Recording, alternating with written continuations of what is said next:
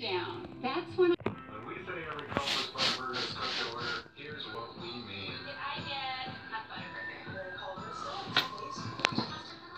Craig Culver, I'm gonna cook for you. Follow me.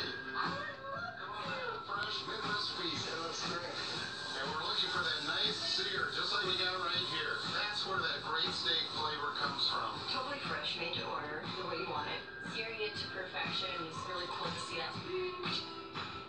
Delicious.